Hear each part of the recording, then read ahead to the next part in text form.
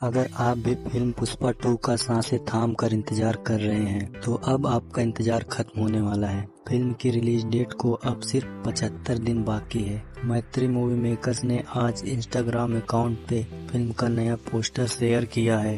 Poster पर 75 लिखा है, साथ ही अल्लू अर्जुन भी नज़र आ रहे हैं। इसके साथ लिखा है, सिर्फ़ 75 दिन और इसके बाद पुष्पा और उसके बेजोड़ आभा मंडल को दुनिया बड़े पर्दे पर देखेगी। साथ ही लिखा है, पुष्पा टू भारतीय सिनेमा पर एक अभूतपूर्व अध्याय लिखेगी। अल्लू अर्जुन की फ़िल्म पुष्पा टू इस साल की सबसे चर्चित फ़िल्मों में शुमार है। यूँ तो इस फ़िल्म को इस साल अगस्त में रिलीज़ होना था, लेकिन ऐसा नहीं हो पाया। दर्शकों का इंतज़ार कुछ लंबा हो गया और फ़िल्म की रिलीज़ डेट सीधे दिसंबर में पहुँचा दी गई। फ़िल्म का बेसब्री से इंतज़ार कर रहे दर्शकों के इंतज़ार की घड़ियाँ अब समाप्त होने वाली है। इस फ़िल्म की रिलीज़ को अब सिर्फ़ पचहत्तर दिन बाकी है। चलिए अब आपको इसकी रिलीज़ डेट बताते हैं। पुष्पा टू द रूल 6 दिसंबर 2024 को बड़े पर्दे पर रिलीज़ हो रही है। इसका काउंटडाउन शुरू हो चुका है। फ़िल्म में अल्लू अर्जुन के साथ रश्मिका मंदाना एक बार फिर नज़र आने वाले हैं। फ़िल्म के निर्देशन की कमान सुकुमार ने संभाली है।